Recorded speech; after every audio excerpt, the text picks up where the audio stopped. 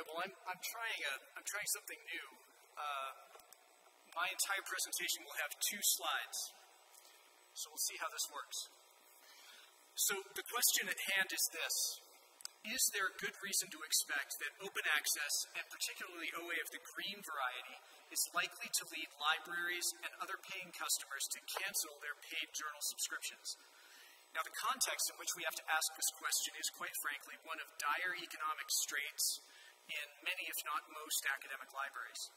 Around the world, and certainly in the US and the UK, library budgets are largely flat, some are falling, and in those unusual circumstances in which, in which annual budget increases actually do happen, they're hardly ever sufficient to keep up with price increases levied by publishers, especially journal publishers, and especially those publishing in the STEM disciplines. Now, of course, libraries have been saying this for years, even decades, and we've now cried wolf so often that most of the publishers I know have simply stopped taking us seriously. Why, they ask, if our circumstances are so dire, do we keep renewing our subscriptions? Why have publishers not seen massive or at least sustained and growing cancellations from libraries? I think there are two answers to this question one that explains subscription persistence up until the past two years, and one, uh, excuse me, up until the past few years, and one that explains it since a few years ago. Up until a few years ago, I think the persistence of library subscriptions can be substantially explained by the big deal, which did two things. First, it greatly reduced the unit cost of journals and articles for the individual library by adding large amounts of content to that library's existing subscription base at a very low marginal cost increase. But it's important to point out here, however, that the big deal does nothing to save libraries money. It doesn't lower costs, it only increases the value realized in return for the cost, even as the absolute cost goes up. The big deal, in most cases, lowers tremendously the library's cost per article. However, cost per article is not actually a cost measure, it's a value measure. The cost measure, and the only cost measure, is the figure on the invoice and the big deal makes that number bigger, not smaller. However, the second and more significant thing that the big deal did to forestall cancellations was to make cancellation more difficult by fencing off large swaths of journal titles and making them uncancelable. The emergence of the big deal in the 1990s, I believe, goes a long way towards explaining the persistence of journal subscriptions even as libraries' collection budgets have gotten tighter and tighter, at least up until a few years ago. Now, it's worth pointing out here that hardly anyone ever believed that the big deal was going to be a sustainable arrangement for the long run. The big deal's ongoing viability depends on a greater and greater portion of the library's budget being redirected from other purchases into the big deal, and the inevitable end game is that the library ends up subscribing to nothing but one big deal. This inevitable scenario has already begun playing out in the last few years as more and more academic libraries have begun shifting money out of their book budgets and into their serials budgets. This is the second explanatory factor for subscription persistence, the one that I believe explains its persistence over the past five years or so. In fact, there have been journal cancellations, just not in massive numbers, and on most campuses, I think it's fair to say that just about every individual journal subscription that can be canceled without the faculty burning down the library has been canceled. And we are now buying fewer and fewer books in order to keep feeding the insatiable beast that is the big deal, as well as any truly essential standalone subscriptions that may, that may remain. We're able to get away with this for now because so many of the books we buy get so little use whereas journal content tends to be heavily used, and this is particularly true in large research libraries, and maybe less the case at smaller institutions that focus more heavily on undergraduate education and on the arts and humanities. However, even this gambit has very recently started to lose its effectiveness, as we can all see it has to eventually. And indeed, the wolf about which we've been crying for decades now seems to be well and truly upon us. In the past year or so, we've seen journal cancellation projects in the amount of $500,000 at the University of Wisconsin Milwaukee, $350,000 at Towson University, $1.5 million at the University of Calgary, $468,000 at the University of New Mexico, $200,000 at the University of Missouri, and $135,000 at Colorado State University, just to name a few. The University of Maryland recently canceled 2,000 journal titles but didn't provide a dollar figure publicly. Caltech similarly recently canceled 650 titles. At the University of Utah, where I work, a planned $300,000 journal cancellation was avoided at the last minute by the discovery of some available one time money. But of course, when it comes to subscriptions, one time money only delays the inevitable and doesn't delay it by much. Furthermore, big deals themselves may be beginning to lose their iron grip on library budgets. In recent years, the conventional wisdom has been that libraries love to talk about canceling their big deals, but almost always end up deciding to stay with them, either because the publisher offers new terms or because the faculty revolt. That may be changing. A few weeks ago, I posted a query to a couple of listservs, I think they were SCHOLCOMM and uh, asking that list members share with me the names of libraries that they were aware of that had publicly announced plans to abandon the big deal. What I expected to find was that the great majority of them would have changed their minds. Now, the data is messy and I'm still sorting it out, but right now I can report that a surprisingly high number of research libraries have recently abandoned big deal packages from Springer, Wiley, Elsevier, Taylor and Francis, Sage, Oxford UP, and Cambridge UP. Now, I don't know whether these cancellations represent a trickle that is going to dry up or a trickle that presages a flood. I only know that the data coming in so far suggest a growing willingness on the part of libraries to break away from their big deal arrangements. So, this then is the context in which we have to place any discussion of open access and library subscriptions. Tighter budgets and inexorably rising journal prices leading to greater scrutiny of existing subscriptions, which inevitably means more cancellations. The number of cancellations grows as the money available to siphon away from book purchases runs out. In this difficult circumstance, open access promises to come to the rescue. However, the rescue scenario is not simple. OA does have the potential to provide libraries with some relief from this situation, but only certain manifestations of OA will do that. What does not help libraries, financially speaking, is the emergence of new gold OA journals, whether supported by APCs or by institutional subvention. We certainly welcome the appearance of these journals, but they do nothing to relieve the financial pressure that we're under. Why? Because the journal marketplace is a marketplace of complements, not a marketplace of substitutes. The emergence of, for example, a new gold OA journal that competes with Lancet does not lead our faculty and students to give us permission to cancel our Lancet subscription. What they'll want us to do instead is add the new Gold OA journal to our online journal list while continuing to support the Lancet subscription. Why? Because each of those two journals publishes a unique set of content.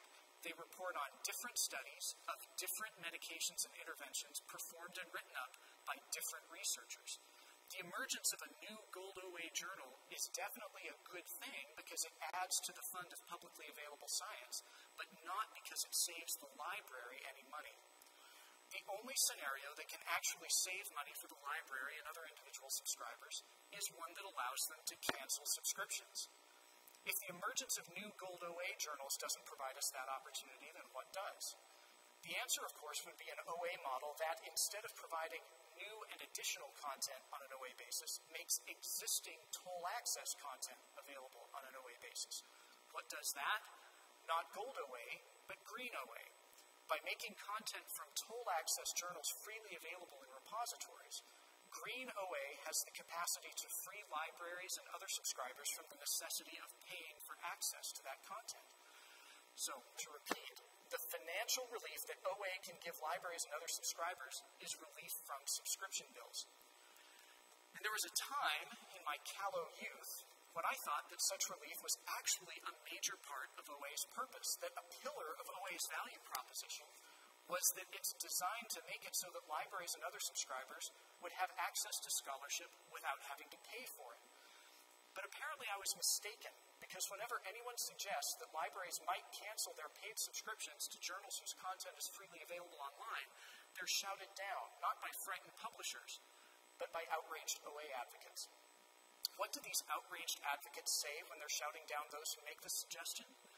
The most common arguments are these. First, that there is no evidence that Green OA negatively affects subscriptions. This is one of the most reliable talking points of SPARC, for example. But if you take the time to stop and think about it, it becomes clear that this answer is a non sequitur. It responds to a concern about the future by pointing out that the future hasn't happened yet, and by implying, though not explicitly saying, that we have no reason to believe the future will be different.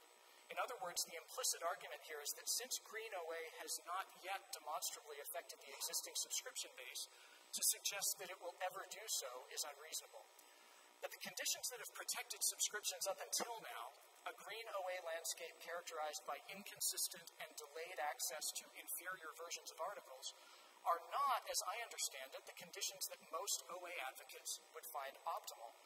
My understanding is that the OA movement is working to move us towards a future in which the landscape would be characterized by consistent and prompt access to versions of record, or at least pre publication versions that don't depart in any material way from the version of record. This scenario is the one that poses a challenge to the ongoing viability of subscriptions. Of course, there's no data proving that this scenario leads to cancellations. You can't gather data on a circumstance that doesn't yet exist. But it's also very difficult to imagine that as we get closer to this scenario, libraries and other subscribers will remain just as willing to pay for access as they were under the old scenario, one in which consistent and prompt access to versions of record was only available at a price. And this is where the real problem with Green OA, successful Green OA that is, as opposed to crap Green OA, becomes clear. Unlike Gold OA, green OA is absolutely dependent on the ongoing vitality of subscription journals. Without those journals, there is no green OA. And the more successful green OA is, the less incentive anyone has to continue paying subscription fees. Now, this brings us to the second thing that OA advocates often claim when they're trying to get people to stop saying that green OA will undermine journal subscriptions. There are some who predict that libraries will continue paying for access even though they don't have to for the good of the order. Now, this to me seems like the scenario for which we would need to see some evidence before we decide to rely on it to keep the economic structure of journal publishing afloat. As we all know, remarkable claims require remarkable evidence. The idea that people will refrain from paying for free content is not a remarkable claim. The idea that they will pay for free content is a remarkable claim. Now, there actually is some evidence that libraries are willing to do this. My library is one among many that willingly pay several thousand dollars a year in order to keep the arXiv afloat. That's the arXiv, you know, with a chi in the middle, the high energy physics uh, preprint server. Despite the fact that the arXiv costs nothing to access and use. The temptation to be a free rider in this case is real, but our library resists it, and so do many others. However, in our case, and I'm certain in the case of every other library that willingly contributes to the maintenance of the arXiv, we also receive many other appeals to contribute to projects and initiatives that contribute to the greater good by making high quality scholarship or scholarly services freely available to all. In the great majority of cases, we decline to contribute, not because we doubt the goodness and value of these projects, but because our resources are limited and we have to make difficult choices, just as we do when choosing between desirable journal subscriptions. There's another important factor in our decision making as well, and that is alignment with our host institution. The money we spend is the university's money, not our own, and we're held accountable for the spending decisions we make. In the past, that accountability has been fairly loose. The university gives us a certain amount of money with which to buy content, and unless administration are given good reason to believe that we're spending it very badly, they've been willing to trust that we're spending it well. If, however, our university were to get wind that the library is spending millions of dollars of university funding on content and services that actually cost nothing, we would expect to have to answer some questions. And if our answer to the question, why are you spending so much money on journals that don't cost anything, is we're doing it for the greater good, our administration might reasonably start wondering whether the greater good is better served by continuing to supply the library with money or by, for example, refurbishing the university's physics labs, or providing more scholarships to underprivileged students, or hiring more faculty. Again, the money that academic libraries spend is not their own. It's university money vouchsafed to libraries for the purpose of meeting university goals and priorities. If librarians take it upon themselves to use that money for purposes that do not, in administration's view, directly support those goals and priorities, there's a strong likelihood that the money will no longer be forthcoming all of us in this room may agree that uh, university administrations ought to care very much about making scholarship freely available to the world. but what will affect the library's future is not what administrators should want, but what they actually want. Now, granted that Green OA exists now and has existed for years and doesn't seem to have had a dramatic effect on subscriptions, we should ask ourselves what it would take for that effect to occur. I'd like to propose two possible future scenarios, one of which will tend to leave the subscription base more or less stable, and the other of which will tend to undermine it dramatically. The low cancellation scenario is one in which the future looks very much like the present. Green OA is distributed spottily and unreliably, providing public access to articles is largely optional rather than mandatory. Free access is delayed by a year or more after publication. Articles available on this basis are relatively hard to locate, and the versions available for free are generally considered to be at least somewhat inferior to the formally published versions of record.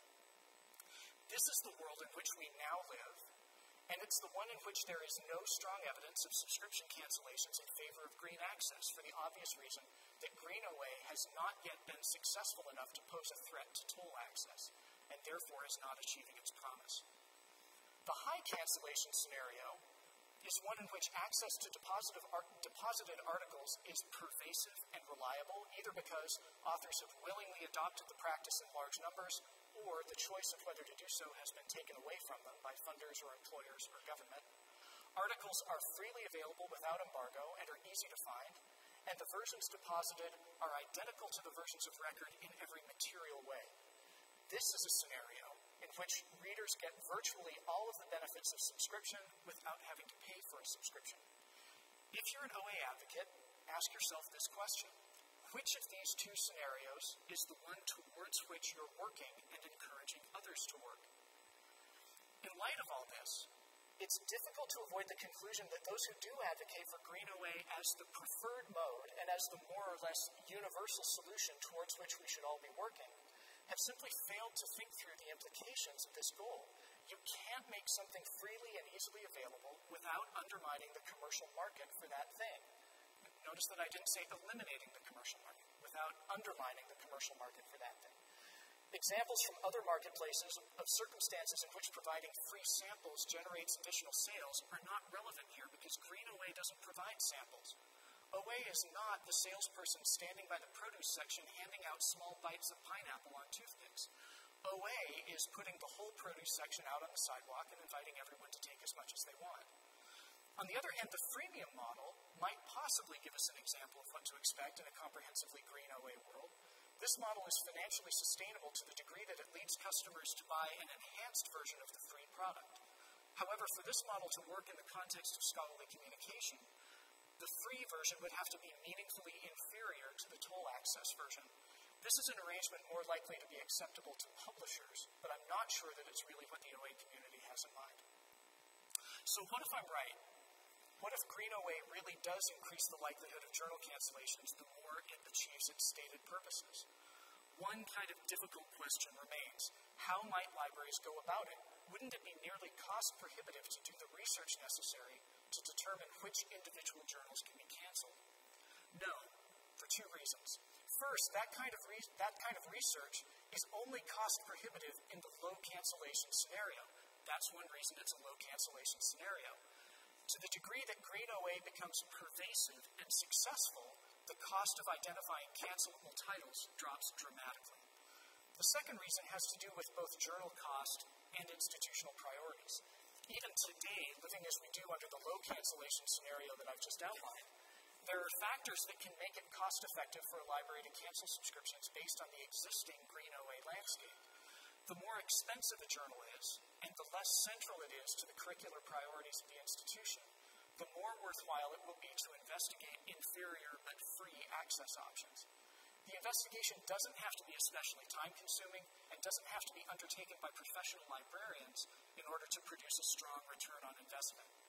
Assign a student employee working on a service desk a list of high cost journals and ask him, as patron traffic permits, to take a random sample of issues from that journal and try to find green OA versions of articles from those issues online. If two hours of that student's time leads the library to cancel a $2,000 journal or even a $500 journal, that is certainly time that's been well spent. And if the investigation leads to no cancellations, the opportunity cost of the investigation is practically nil because you were paying the student to staff that service desk anyway. But let's take it a step further. What if you pay a student $10 an hour to spend 10 hours a week investigating green OA alternatives to toll access journal content? If three months of that student's time results in cancellations totaling $1,300, or in other words, one moderately priced science journal, the library has saved more money than it spent investigating, and that's only in the first year of the cancellation. The savings continue and mount from year to year after that, since what was canceled represented an ongoing annual expense. So, to sum up, I'd encourage my colleagues who actively advocate for Green OA not to recoil from or be outraged by the possibility that it will lead libraries to cancel their subscriptions, but rather to embrace it. After all, if the promise of open access is not the promise of free access, then it's difficult to see what the.